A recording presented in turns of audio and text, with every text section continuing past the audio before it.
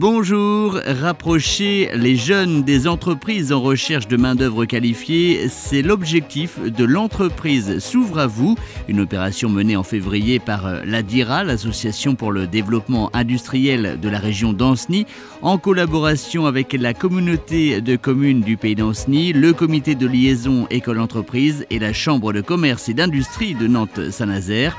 17 entreprises du pays d'Anceny ont ainsi accueilli ces jeunes qui peut-être deviendront de futurs collaborateurs. On a un constat, chaque fois qu'on veut recruter du personnel dans l'industrie, on trouve personne. Et on trouve personne pourquoi?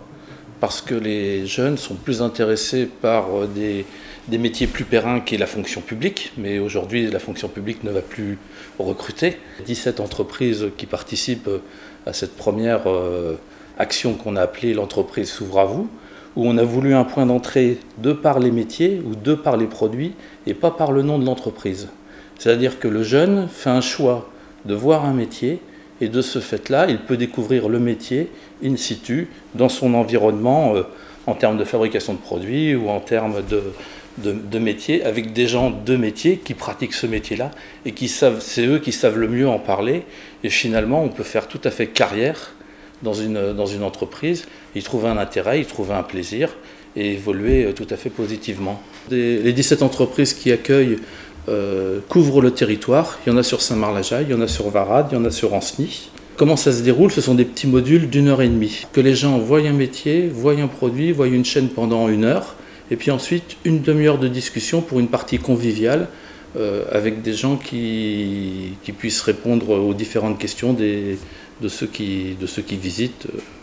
Moi, l'objectif, il est, un, de présenter ce qu'on sait faire, notre métier, euh, en tant que plateforme logistique, et euh, d'autre part, permettre à des jeunes ou des, personnes en recherche d'emploi d'adapter leur recherche en fonction des besoins de l'entreprise. Sur les préparateurs de commandes, entre autres sur les postes de caris, on a du mal à recruter. Quand on cherche 10 personnes, il nous faut 4 sociétés d'intérim pour avoir 10 salariés. Parce que nous, on a été pareil, hein, quand, on a, il a fallu choisir un métier, euh, on, suit un cursus scolaire qui est bon ou qui est pas bon, mais on, suit un cursus scolaire, et puis à un moment donné, il faut faire un choix.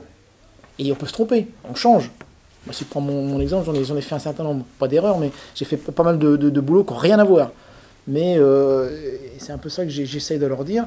Il faut acquérir de la connaissance, euh, après, il faut savoir se vendre, hein, parce que c'est pas tout un diplôme. Il faut savoir se vendre. On est au milieu de la plateforme là.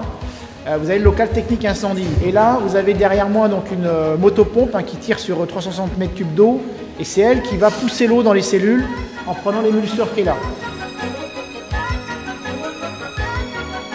J'ai accompagné mon fils là, qui, découvre les entreprises pour choisir un métier plus tard et donc qui était intéressé pour euh, trouver, euh, voir les différents types d'entreprises. On a fait deux, on a fait la semaine dernière le Val d'Èvre, le traiteur, et puis voulait voir ce que c'était que les métiers de la logistique et donc euh, visiter une plateforme.